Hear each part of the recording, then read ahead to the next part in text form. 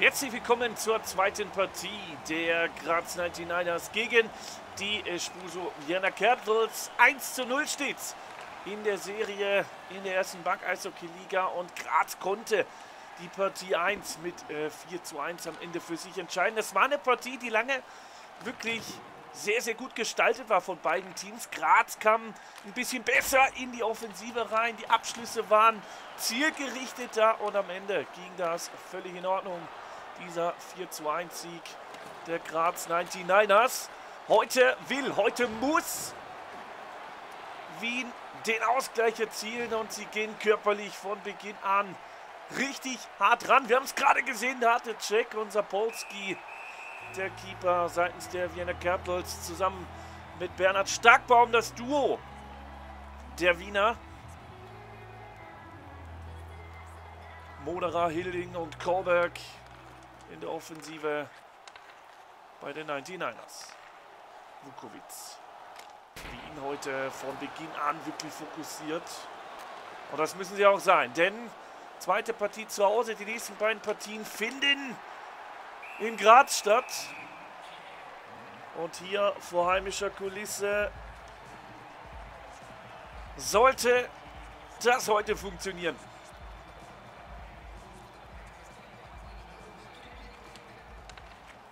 Und für Graz ist es genau das Gegenteil. Heute nochmal ein Auswärtssieg. Und man könnte zu Hause schon alles fix machen. Das wäre der absolute Wahnsinn. Die Grazer, sie hoffen auf eine Playoff-Halbfinalteilnahme. Sie hoffen, dass man ins Halbfinale kommt. Und jetzt kriegt man erstmal die Überzahl, denn die Strafzeit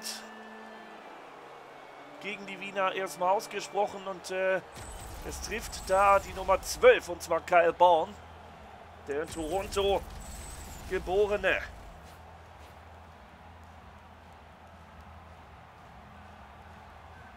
Kanadier. Jetzt also für zwei Minuten draußen.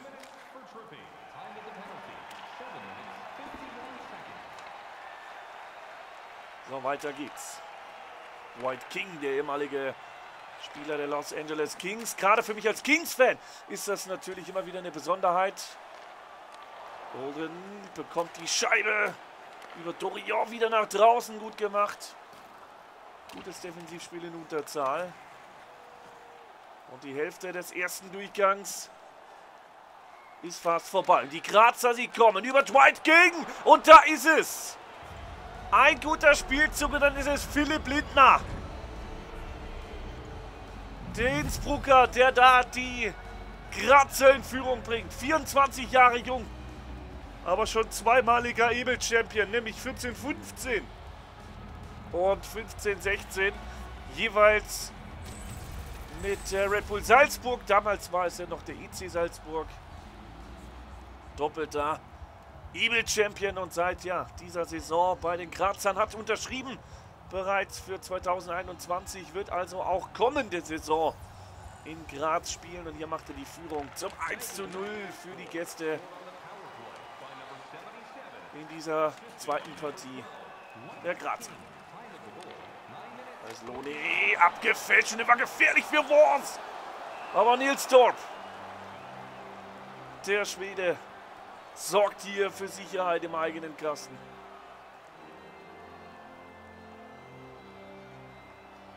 Ja, die Wiener, sie brauchen den Erfolg. Sie brauchen die positiven Nachrichten.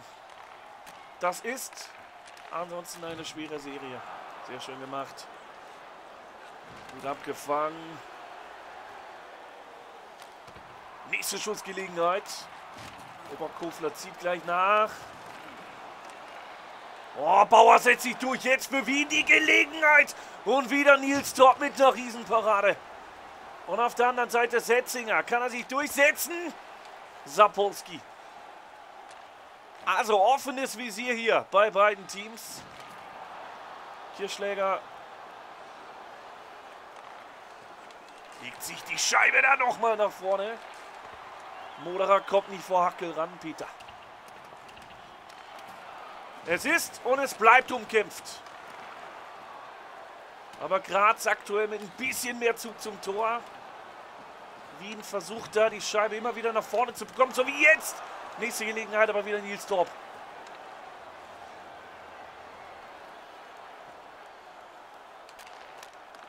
Und Moderer. Probiert es mit einem Fernschuss. Kevin Moderer in Graz geboren. 30 Jahre jung. Auch er wird kommende Saison noch in Graz auflaufen. Vertrag steht. Hamilton. Geht über die Außen. Kann sich an der Bande da nicht durchsetzen. Lakos stärker und auf einmal Vukovic. Dann wieder fast alleine von Nils Torp und den hätte er reinbringen müssen. Den hätte er wirklich reinbringen müssen. Das war nicht die beste Option, die Nils da oder die, die Wiener da gezogen haben. 7 zu 4 Schüsse für die 99ers. Und sie sind auf einem guten Weg.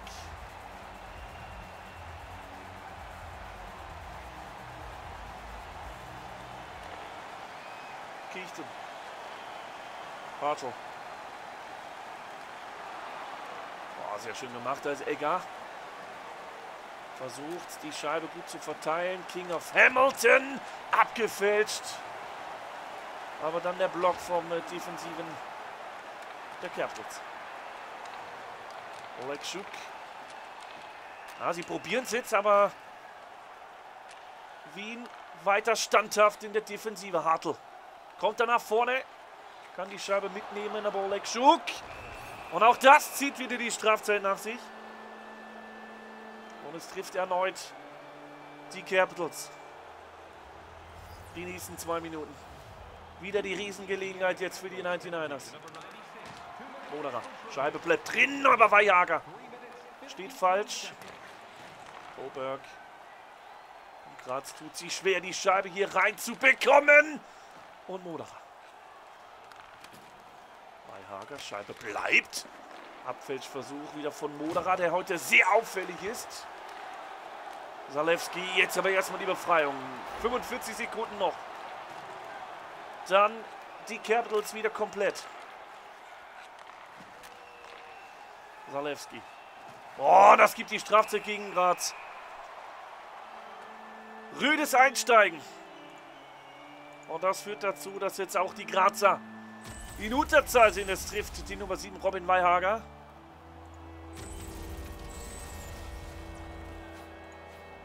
Ganz, ganz bitter. Ganz, ganz bitter. 4 gegen 4 für 15 Sekunden und dann eine Minute 45. Die Überzahl für die Gastgeber. Oberkufler. Scheibe jetzt einfach vorne halten. Sapolski gibt den Puck ab. Olden, Ackel, Svors. Jack und Johansson bringt die Scheibe nach vorne. Etwas weniger als eine Minute noch die Überzahl für Wien. Aber die können bislang nichts draus machen. Bislang tut man sich weiterhin schwer. Kommt nicht so wirklich in diese Partie hinein. Jetzt vielleicht über Hartl. Aber auch hier wieder der Check.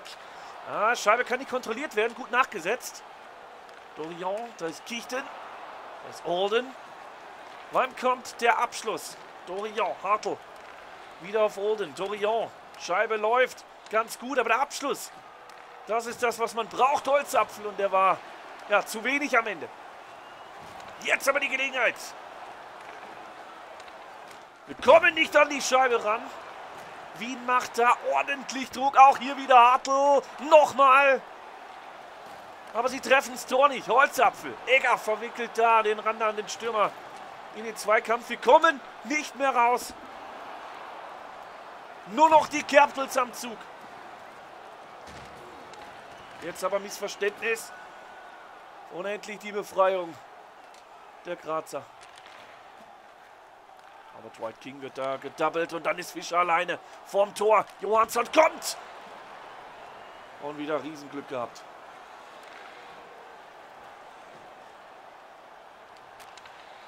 Sehr schön. Aber es bleibt beim knappen 1 zu 0, 5 Minuten noch im zweiten Durchgang. Fischer gegen Kirschläger. Lakos. Schöne Scheibe auf Rotter, Großlärcher. Und jetzt nochmal die Wiener, aber wieder ist es Nils Dorp. Zeigt heute wirklich einen überragenden Job. Exzellent. Und Moderer kommt wieder nicht durch. Zerfahrene Partie, enge Partie, die man nicht wirklich einer Mannschaft zusprechen kann bislang. Dieser eine Treffer macht eben den Unterschied in der Partie, die ansonsten relativ ausgeglichen ist. Schön nachgesetzt. Weihager. Lindner nochmal. Gute Schussposition. Aber wir gehen auch in die zweite Drittelpause mit dem Ergebnis 1 zu 0. Vier Tore mehr durften wir in Partie 1 sehen. Bislang ist es noch nicht das Spiel, was beide sich so wünschen. Olekschuk gegen Holzapf, Lampoli Punkt. Letztes Drittel rein geht's. 20 Minuten noch für die Capitals. 20 Minuten noch für die 99ers. Schöner Sticklift. White da von der Scheibe getrennt.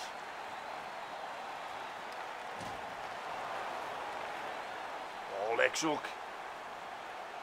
feinfühlig mit dem Schläger auf Hamilton. Gute Reingabe. Und Kranz. Geblockt von Olden. Hartl. Wieder Olden. Da ist Dorion. Holzapfel. Dorion. Scheibe ist raus. Abseits angezeigt, zumindest passiv.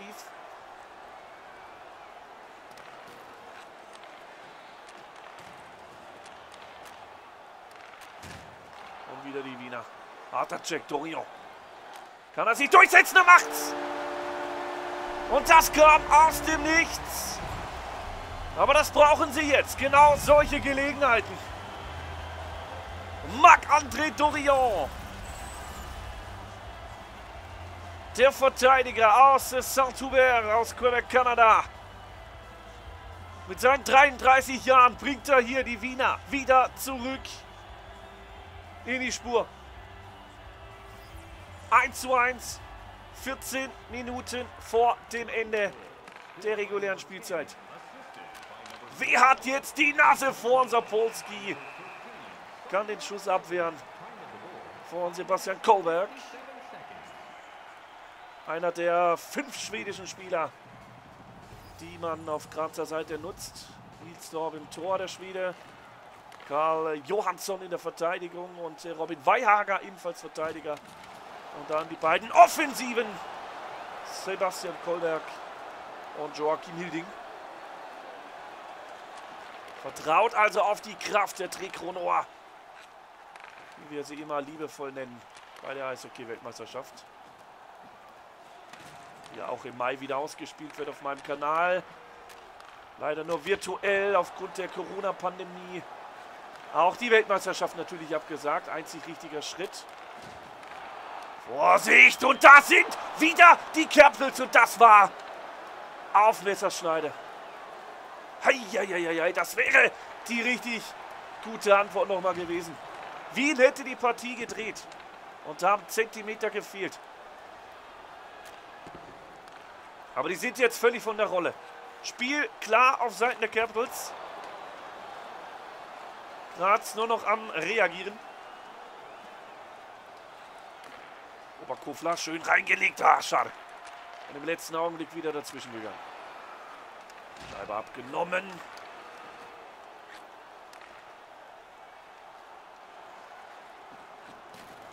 Vorsichtig. Und noch einmal ist es die Mannschaft Wiens, die wieder für Furore sorgt vor dem Kasten von äh, Nils Torp. wie gesagt, Graz tut sich hier momentan relativ schwer. Jetzt vielleicht Johansson die Scheibe nochmal rüber. Und es laufen die letzten beiden Spielminuten. Müssen wir hier in die Verlängerung.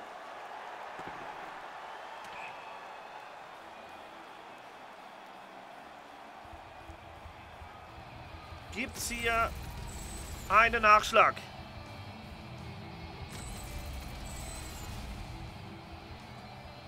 16 zu 14 Schüsse.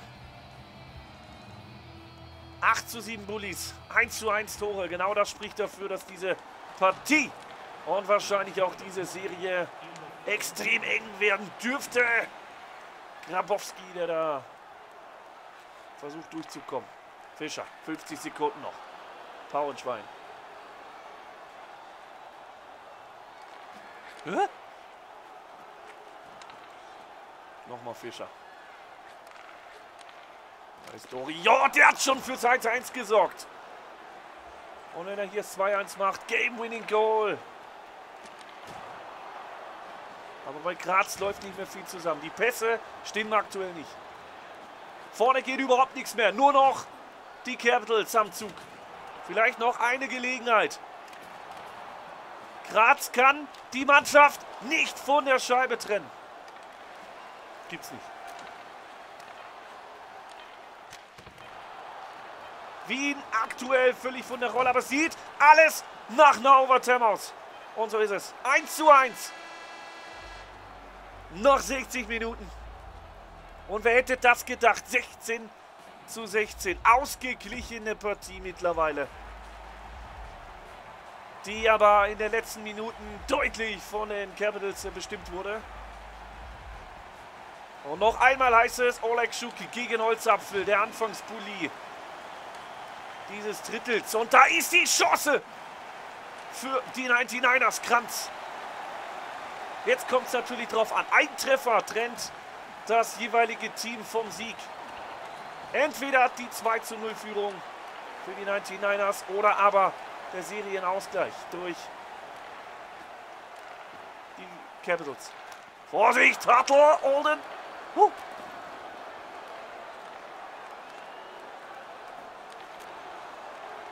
Und White King hat im ersten Spiel zum 1 zu 0 getroffen. Und Holzapfel. Der Nachschlag, der kann sich sehen lassen. Noch einmal die Capitals. Wo ist die Scheibe? Und sie ist noch nicht. Aber der Schiedsrichter sagt nein. Jetzt bin ich gespannt. Scheibe tatsächlich noch nicht begraben. Und meiner Meinung nach auch keine extreme Torbehinderung. Weshalb man eigentlich den Treffer gelten lassen könnte. Aber er zählt nicht. Glück für die 99ers.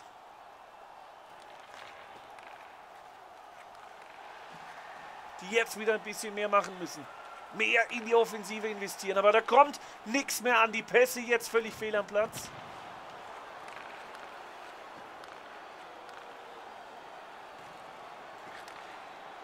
Und die Hälfte der Overtime der ersten ist bald vorbei. Vukovic, da ist Zalewski, da ist Flood, da ist Born. Und wir kriegen die Scheibe wieder nicht weg. Kann doch nicht wahr sein.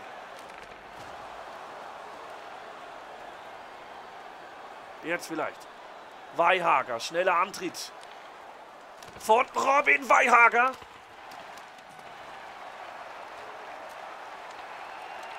Wieso der? Und ruckzuck wieder die Kontermöglichkeit. Bauer.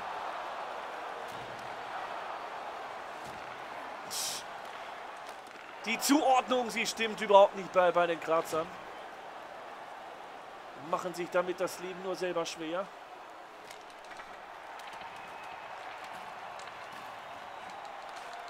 Aber auch im Angriff kommt nicht mehr viel Zwingendes.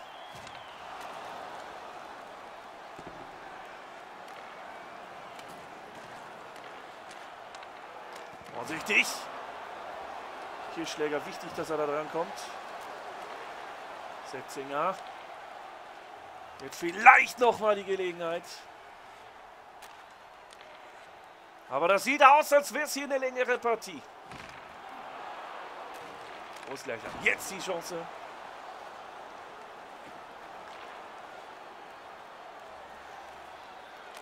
Nauris Susewitz. Aber auch er scheitert.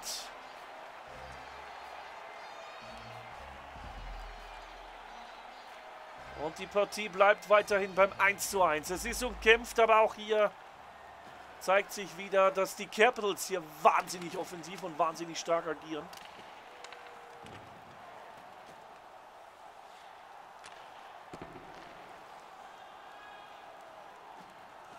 Schön, wie er sich da lösen konnte. Nö! Wieder nix. Das ist doch nicht zu fassen.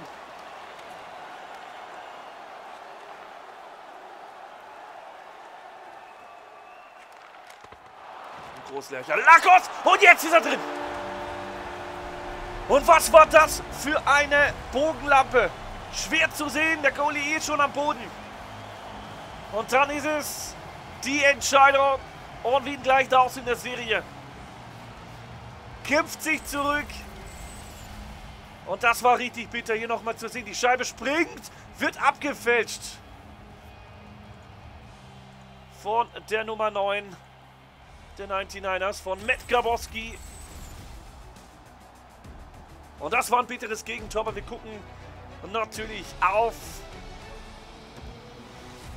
die aktuellen Serienstände. Und 26-19 ist natürlich dann schon bezeichnend für das, dass man zu Beginn des Spiels eigentlich die Zügel in der Hand hatte. Also, Foxes 9 1-1, 2-0 Villach gegen Red Bull Salzburg, 1-1 jetzt die Capitals gegen Graz und Klagenfurt, Linz weiter 0 zu 1. Diese Partie sehen wir demnächst. Und wenn es euch gefallen hat, würde ich mich natürlich über einen Daumen aus der freuen. Ansonsten sage ich danke fürs Zuschauen. Bis zum nächsten Mal. Euer Bloody LP.